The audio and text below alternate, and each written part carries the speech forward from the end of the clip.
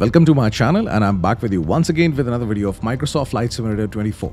So nowadays I'm making a series of videos uh, for this simulator and in this regard I'm using Cessna 172 which is equipped with a Garmin G1000, very nice uh, GPS navigation device and plus you can fly this plane on autopilot as well. So um, in this regard I've already uploaded two videos in which I've told you how to make a flight plan and plus how to start this plane. Now this one uh, will be covering um, uh, the autopilot part. So I will tell you how to fly this plane on autopilot.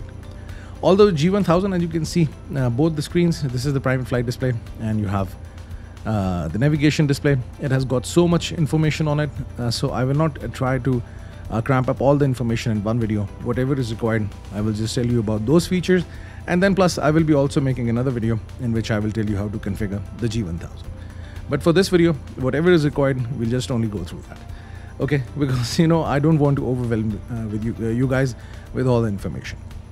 So right now i have a working flight plan over here in this plane and it is already loaded. So if you go over here on the navigation display you will see that this flight plan is there. Just move your cursor to this um, knob range and you can just zoom in and out and have a look at it now you see this magenta line. So when I will turn on the autopilot, it will actually uh, follow this path.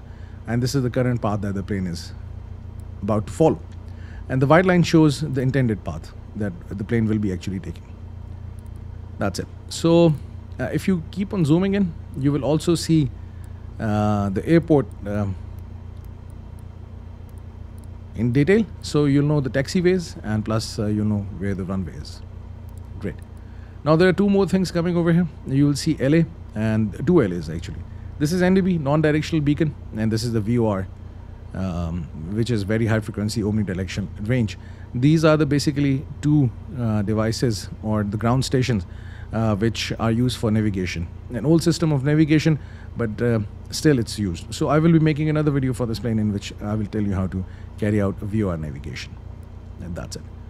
Now before the takeoff, what you have to do is this you have to just uh, get the charts.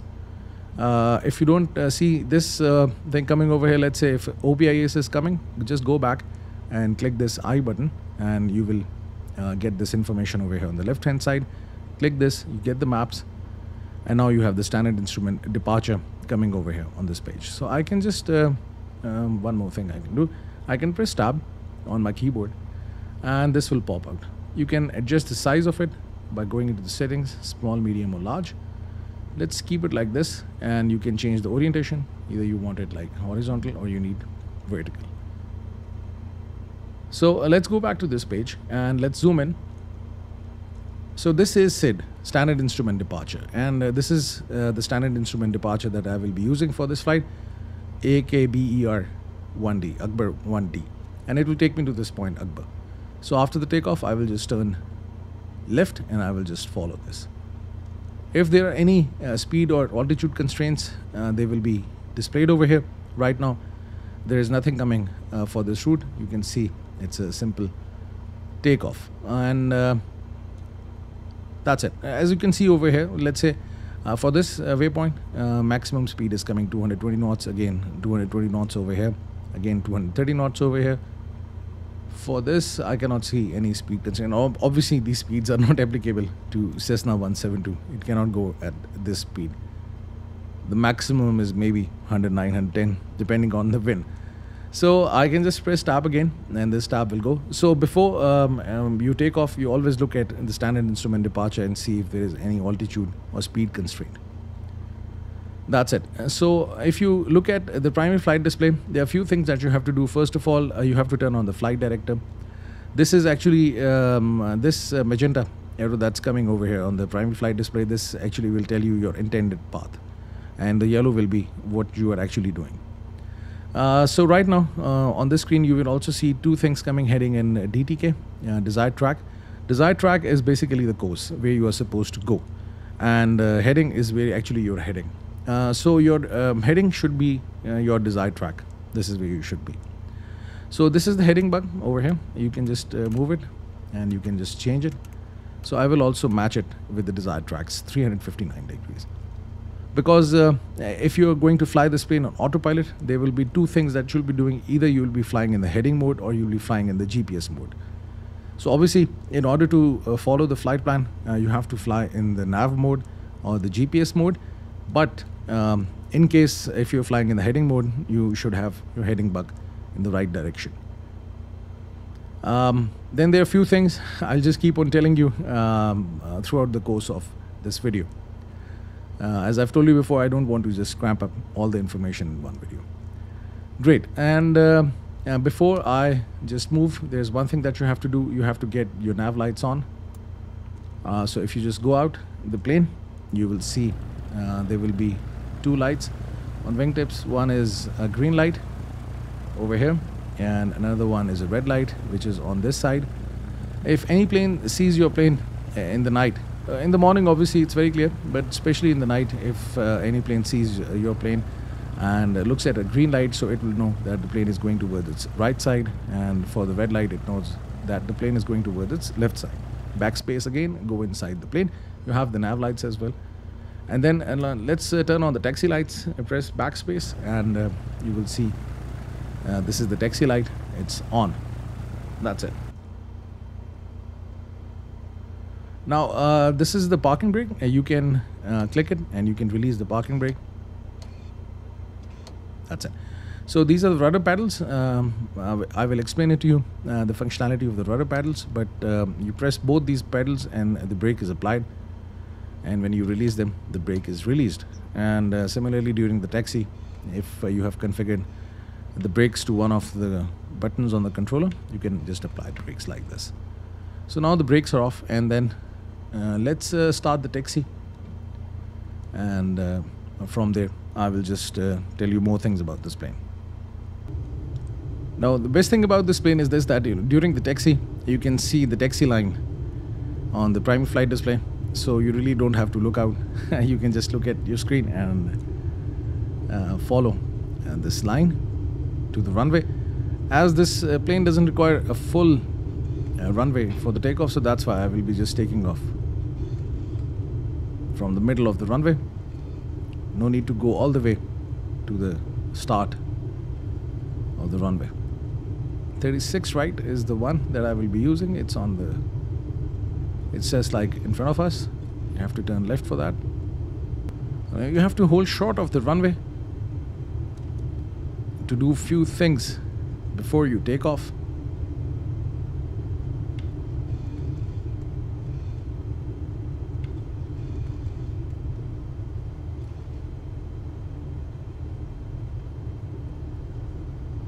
I will just stop here. Apply the parking brake as you can see it's now applied. Now, for again, uh, for the takeoff, uh, just make sure that the strobe is on. It's actually a light which blinks and it tells other planes in the air that your plane is there. so if you look at your screens right now, you can see uh, this is the strobe and uh, it's on the other side as well. So you need strobe and uh, remember this thing, uh, strobe is only required once you're on the runway uh, during the takeoff. So that's why before entering the runway, just turn on the strobe, and once you're um, off the runway, just turn off the strobe. Another thing about the lights of the plane, um, it's been a very interesting topic. If you are not uh, a pilot, uh, then you get really confused which turns to turn off and turn on. Uh, but I was talking to one of the pilots. They say even in the morning uh, we turn on the landing lights. Even they call it the land lights. Um, uh, but during the takeoff, also turn them on because you know then uh, the, your plane has got really bright lights even in the morning uh, from the distance when a plane sees your plane uh, it sees the lights more clear uh, than the plane itself so that's why you should have some bright lights on your plane so that you know other planes which are taking off or landing specifically uh, they see you uh, from the distance so that's why it's better to turn on all the lights so during the flight, all these lights will be on except for the taxi and for the landing lights, but the beacon will remain on throughout the flight. Nav will be on throughout the, life, uh, flight and plus the strobe. That's it. Uh, now there are a few things that I just want to uh, tell you. If you look at over here, this is basically uh, the flight mode annunciator. This is called, called the FMA. Uh, these uh, two things on the left hand side and for the right hand side, these are the radio frequencies for the navigation and uh, for the communication. So if you're doing ATC communication, this is the panel, uh, this is the side that you should be looking at. And if you are following or tracking any VOR or NDB, uh, then you have this. And plus, I will be using it for ILS. So um, I will show it to you uh, in that video in which I will be performing ILS. But right now, we can just tune into some VORs and just to show you around how it works. Right now, you can see a roll is coming. So what will happen is this: as soon as uh, I will take off, I will turn on uh, the autopilot by pressing this button, autopilot AP, and uh, the plane will keep on flying um, in a in a in a straight path uh, till the time I use heading mode or nav mode. So heading mode is a mode which actually uh, will enable the plane to fly in the heading mode. Whatever the heading I will set, the plane will fly regardless of the flight plan, because this is the flight plan that you have. But if you want your plane to follow the flight plan, then you should have nav on. And I will also tell you in this video that if your plane deviates from the flight plan, then how you get back to the flight plan again. So these are the two things that should be uh, keeping in your mind. I will be using this. Then you have um, this uh, knob over here. There are two um, knobs, big and the small one. The small actually changes uh, the units for the altitude in in uh, hundreds, and the bigger one changes it in thousands. So let's uh, bring it to 1000 or rather zero and then change it. So let's say after the takeoff, I will fly at uh, 5,000 feet. So I will move the, the larger knob and set the altitude to 5,000. So now once I will turn on the autopilot, um, I will climb up to 5,000 feet by pressing this button vertical speed. This basically button controls the vertical speed of the plane. So you were, um, uh, and plus your vertical path is decided by these two buttons up and down, how much uh, pitch up or pitch down you want. Um, so I will also uh, clear this to you during the flight. Okay, and uh, if you press this button, altitude, so whatever the altitude you will be on, and the plane will keep on flying on that altitude. Another thing, uh, just make sure uh, that you have a GPS coming over here. If I press CDI, uh, you will see localizer. Now, what is this? I will just give you a little bit of introduction. CDI is basically course deflection indicator. So this is actually your course deflection, deflection indicator. This shows you that either you are following the course and plus how much deflected you are. So right now you can see I am off this magenta line. If I just zoom in, you will see that I have to move forward and then once I'm here, then I'm following this path. And this course deflection indicator is also showing me. If you look at this needle, if I'm over here, this needle will be down. And if I'm over here, this needle will be over here up. So uh, you have to not only uh, follow this direction, but rather keep it in the middle so that you're following this line. Because you know, once you take off, you'll be flying in the heading of 359 degrees. So 359 degrees can be like this. You know, you can be going like this or like this. So that you're going in the heading of 359 degrees, but you're not following the course. So this actually deviation tells you whether you're following the course or not. So once I will take off, I will show you how this deflection is being um, uh, being um, uh, being understood and how you follow this deflection. Uh, then if you press CDI, uh, it will take me to the localizer one. Um, actually, right now there is no VOR uh, tuned, so that's why um, there's nothing coming. And if I press CDI 2, this is the localizer 2 because you can just tune into two VORs, as you can see, nav 1 and nav 2, and then you GPS. So let's say if I uh, tune into the Lahore VOR. how do I get the information of the Lahore VOR? If you go over here, you will see uh, this uh, knob over here. So many things. G1000 is really interesting. You have to really understand. So if you move your, uh, let me just get rid of it. Uh, so now over here, FMS, uh, you will see two knobs. Again, the big one and the small one. So if you move the big one, you can just scroll through uh, different uh, menus and this display. Now, if you go to this point, nearest, you will see all the nearest points. And um, nearest airports, if I move the small one, it will tell me you want to see the nearest airports, you want to see the near, nearest intersections, NDBs or VORs. This is a VOR for Lahore. And if you want to see what is the frequency for Lahore, it is already shown over here. Uh, sorry, uh, let me just go back again. Okay. So now you can just uh, scroll through it and uh, you can press uh, clear and that menu will disappear. And now you can, uh, sorry, now you can see all the information. If you press left mouse, as once you see this hand sign, you press this left mouse button and press right, you will see this cursor blinking now it's active and then you can scroll through all uh, the VORs which are near this airport. So for Lahore, LA, you can see uh, the heading of this uh, VOR where it is 310 degrees. How far it is from your plane? 0.4 nautical miles is just right over here. And uh, plus uh, you can see uh, the GPS coordinates of it and plus the frequency 112.7. So I can tune into this uh, VOR over here. So now you'll see this knob uh, for the nav. Again, the larger knob and the smaller knob.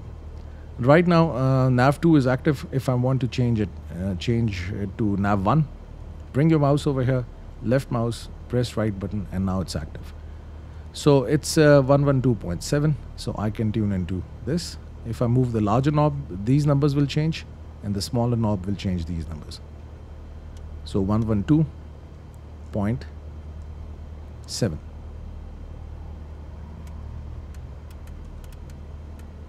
That's it. Now, right now, this is not the active frequency. Active frequency is 110.50. If I press this button swap, this frequency will come over here, 112.7. So now this is the active frequency. If I just uh, press the CDI again, now you will see uh, this information has started to come. Um, there is a huge deflection because this VOR is a bit far, so I have to travel towards the VOR's direction in order to get aligned with the VOR and then fly it. So this VOR is now being picked up. That's it. Localizer 2, I'm not using it. So in this video, I will not just so much talk about the localizers, but just for information, I just wanted to tell you. So let's uh, clear this. Um, sorry, uh, press this uh, flight plan button and you will be taken to this uh, page. And if you press flight uh, plan again, you will see all the flight plan over here. So let's get rid of it. Let's zoom out a bit so that I see where I'm going. So right now, another thing that you have to do is this: get the flaps. Basically, flaps over here. Yeah, if I pre- uh, press uh, backspace, I will show you the flaps. They are extension of the wings. You have to have uh, flaps. Uh, if I extend the flaps by one notch, you will see they're moving down. And the flaps actually provide lift to the plane at slower speeds. So during the takeoff, the flaps are required. And uh, the heavier the plane, more flaps are required. But right now, as I'm doing a short flight uh, with uh, very less weight, so that's why I just need uh, flaps by one notch. But uh, you have uh, performance calculators, uh, takeoff performance calculators on the internet. And for Cessna 172, depending on the weight that you're carrying, the fuel that you're carrying, you can have um, different flap settings. So let's press backspace again and go inside. And if you want to control um, the the flaps from inside, this is the control. So the flaps up, all the way retracted, and down by one notch. That's it. So you can also use this control. Otherwise, I've configured them on the controller. Another thing, uh, during the takeoff, um, I will give full throttle. You can see the RPMs coming over here. Uh, I will give full throttle and uh, then um, I will pitch up a bit. As soon as I'm off the runway, I will try to retract, uh, or not uh, try to, I will retract the flaps and um, then again, I will uh, try to keep uh, my speed at seven, uh, 75 knots. So over here you will see the speed and over here you will see the altitude. And um, one more thing, you have to adjust the barometric pressure in order to have the right altitude um, uh, readings because you know uh, this plane actually reads or gets the altitude based on the barometric pressure. The change in the pressure, um, the altitude is being um, being shown over here. So how to get this? If you go here on the main page, or rather what you can do is this. You can just simply go over here weather and you can get get it. It's 1015 so in order to change the barometric pressure you can see uh, this knob over here. Uh, this is this is the round one and triangle. Triangle changes the course.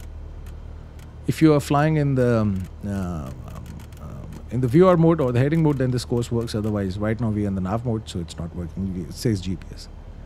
So I can just move this larger knob and I can set the altimeter. Now I'm, I'm getting the right altitude um, um, over here. Another thing, um, this is uh, the unit. Uh, you can also change the units of this if you are not seeing uh, the proper units. Then I will tell you how to do this. Uh, you go to this primary flight display options, and over here you have altitude units. If you press this, this is now coming in HPA, and this is now coming in. So you can change the units. So I keep it at HPA because you know um, this always comes as an HPA over here. So once you set it, it's there, and then you can press back, back one more time, and it's gone. That's it. Now let's release the parking brakes, and let's uh, take this plane up in the air.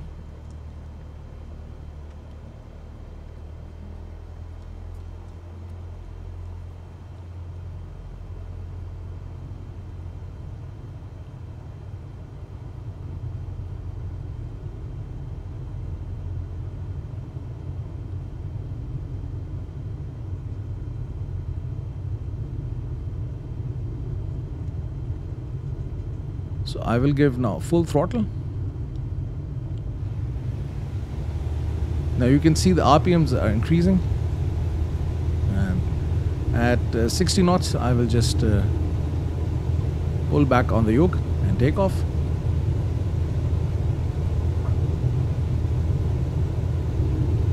And that's it.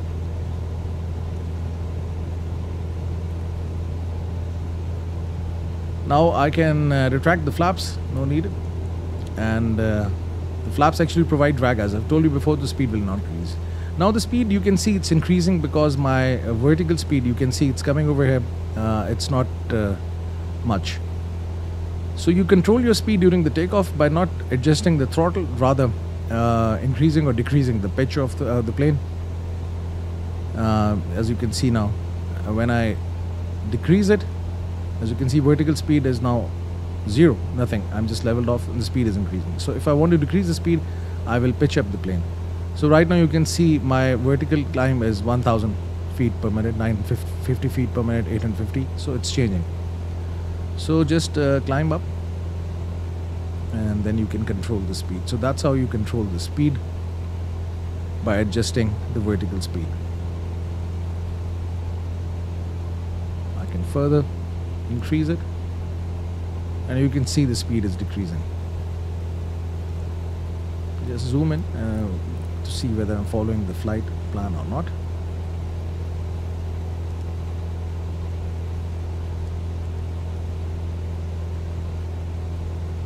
So 75 knots is a good speed uh, after the takeoff. Because you want to attain the altitude as soon as possible so that's why you keep it like this. Now it's time to turn on the autopilot. I will turn it on and now the autopilot is on. Now you can see the plane is leveling off because I haven't set uh, the vertical speed. So if I press the vertical speed button over here and if I change it up, nose up, now I will just release the yoke and the plane will actually now start to follow this. Uh, but for this I have to again uh, take the plane from the roll mode because you know right now uh, the autopilot is controlling the roll. So it will not follow the flight path. I will show you. Just give it some time and you will see. Now the vertical speed is working. Uh, I can further increase the vertical speed because the speed is 96, 95. I want to keep it at 75. So I can have a high vertical speed. As you can see, it's 1300 right now. So this is where it's going. Now you can see next desired track is 313 degrees, but the plane will keep on flying straight. It will not follow this because over here on the FMA roll is coming. So right now the autopilot is controlling the roll. Again, one more thing, the speed you can see it's reducing. So I can like keep it at let's say 1000. Okay. And the plane will then level off at 5000 uh, feet. So let's wait for the plane to deviate from the flight path. Now you can see I have crossed the flight path. I'm not following the flight path. And that's it. Now, in order to get back to the flight path, what I can do is this. I can uh, fly in the heading mode or I can fly in the nav mode. So let's give you uh, some idea about the, uh, the heading mode. So right now you can see the heading bug is over here, uh, heading 359 degrees, but the desired track is 313. So what I can do is this. I can move it to 313, the heading bug. I can keep it at 313 and then I can go in the heading mode. As soon as I'll go in the heading mode, you will see heading coming instead of roll autopilot is active and plane is going with the vertical speed. Now you can see the speed is reducing, so that's why I can just pitch down a bit. I can keep it at let's say 700. Let's see if the speed increases. Now you can see the plane has actually turned in this direction, but it's not following this path. You can see this deviation is coming. There is a huge deviation. And now I will keep on flying um, in this direction 313 degrees, but parallel to this line. This is something really interesting. Now, in order to go there, you have to actually intercept this line. And once you are on this line, then you fly like this. So this interception is coming also, deviation is also coming over here. That's why this is known as the course deflection indicator. So what I can do is this, I can uh, move this heading towards the left side because I have to move left to intercept this line. So I can like intercept it by 45 degrees. So this is actually 45, this is 90. So this is 45 degrees. So I will keep the heading bug over here, just right over here on the west. So if I move it over here, now I will intercept it by 45 degrees. So the plane is now turning left towards this line and now you will see soon this line will start to move in the middle. So it means that you know I'm near uh, this line. I have to follow that. Now the speed is stable at 75 knots and the plane is going to this altitude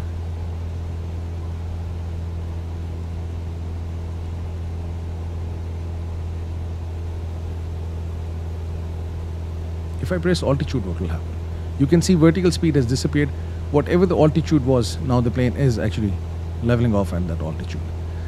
So if I just let's say if I want to climb to 6000, oh, I have actually deflected a lot from this line, but I will tell you. So if I want to climb up to 6000, I can just change the altitude, then again vertical speed, and then I can just set it to 400.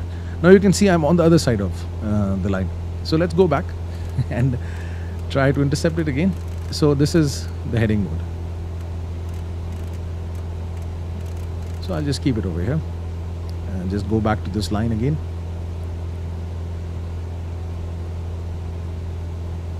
So it's really interesting. You can just like um, make your flights really interesting.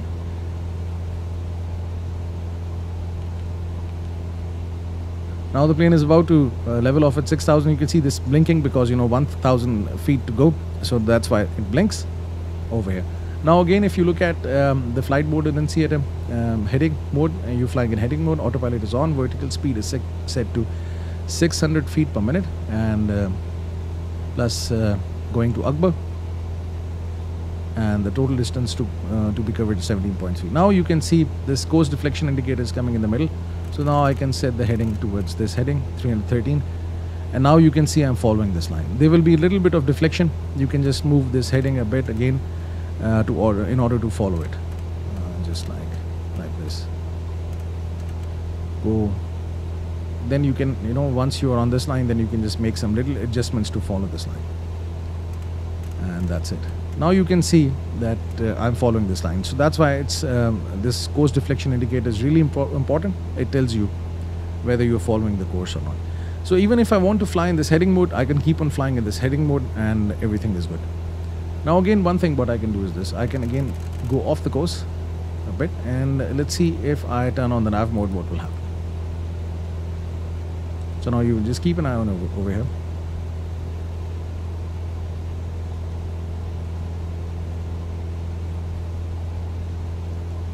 Let's have some uh, some good deflection from the course. As you can see, this deflection is there. And that's it. Now let's go into this nav mode. Nav mode will actually uh, follow uh, the GPS flight plan. If I press nav, what will happen? Now you will see GPS started to come over here. So it means the plane is actually following the GPS flight plan. And now it will start to move towards this line. So this is really good. Altitude is blinking. It means the plane is at 6,000 feet. Now the speed will increase. With this, uh, you can reduce uh, the RPMs. Um, keep it at 2,400 put less stress on the engine.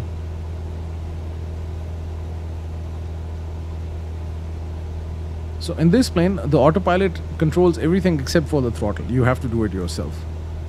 So 2420 RPM is a, is, is a good RPM and uh, I'm flying on that. Now you can see the plane is actually following uh, this flight path. That's it. there's one more thing I just wanted to elaborate. Uh, just make sure over here the OBS is not active. If uh, you uh, just activate OBS, the plane will stop to follow uh, this uh, flight path. So let's keep it inactive. One more thing. and CDI should always be in the GPS if you are following the GPS mode. That's it. Doing VOR navigation with this plane is also really interesting, and uh, it brings a lot of you know uh, interest in the flying. So right now everything is looking good, and um hopefully I've covered everything for you. Uh, you can also uh, just like go through all options over here um, on the navigation display and plus on the primary flight display uh, to have more information about the G1000. But uh, for this video, whatever was required, I have just taken you through all that information and I've just tried to keep it simple because you know um, as a beginner everything becomes really overwhelming. I remember um, initially when I was like opening different uh, reading material or videos and then you know so much information coming in I used to get confused. So that's why I'm just telling you only those bits of information which are required to carry out this flight. Uh, however, I will be making a complete video uh, to cover the G1000. So hopefully uh, you must have learned few things uh, from uh, from this video. And uh, if you have any questions, you can ask me in the comment section. Or if you want to add anything to this video, the comment section is there for you. Thank you very much for watching this video. Have a nice day. Hope to see you soon.